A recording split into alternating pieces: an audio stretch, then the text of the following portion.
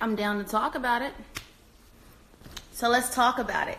Let's talk about it because I'm down to talk about it. Man, first of all, um, I know I had a little stank face on, but I really believe that was like the angles of the camera. Ain't no telling what I was making faces at for real. You know, anybody knows me knows that I'm cool as hell.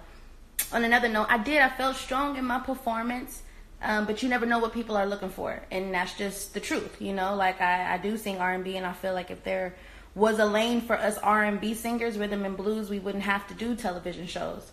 Um, they are having a let me read what y'all saying because I'm just blabbing and it's about y'all really. So let me scroll it on down. Okay, hello. I'm your boy.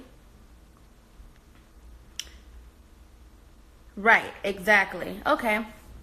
So let's finish talking about it. Um there was a point when the crowd was chanting his name that I was like, "Oh shit. Okay. Maybe I need to learn some dance moves." I don't know. Like I said, I'm a real R&B singer, so you know what I mean. I, I I just know how to stay in my lane. I don't really go outside of that too much. I just feel like longevity will pay off. You know what I mean? Um, I feel like if I stay authentic, you know, hard work sells itself. So there is areas where I can improve in. I always feel like there's, you know, improvement, room for improvement. I always watch and critique myself, and I'm like, oh, I could have done that better, I could have done that better. But t- tonight, I feel like I really had it in the bag. I do. Did I feel like I may have gotten to the finale? Do I feel like I may have won the whole show? I don't know. Honestly, I really don't know.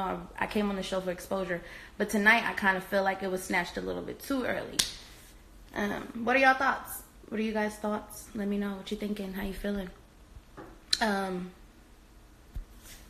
another thing, I'm not sad. I didn't even think I would get Ash's seat, and I'm gonna keep it 100. So when I got a seat, I was just like, "Oh, thank you, God. Let me use this as a platform," you know. Um, but the fact that the people are like hashtag come back Candice, then damn it, let's do it. I'm down for a round two. I'm always down for a round two. So make sure you guys, um, it's a hashtag the four come back, but you also have to hashtag my name, Candice, Candice Boyd, or whatever. Um, I'm gonna keep going live just for the people that's you know missing this video. Cause I don't really like to be, you know, on camera too much. At least not like this. Only on the stage. So get me back on that stage. Yeah. All right, y'all. Good looking.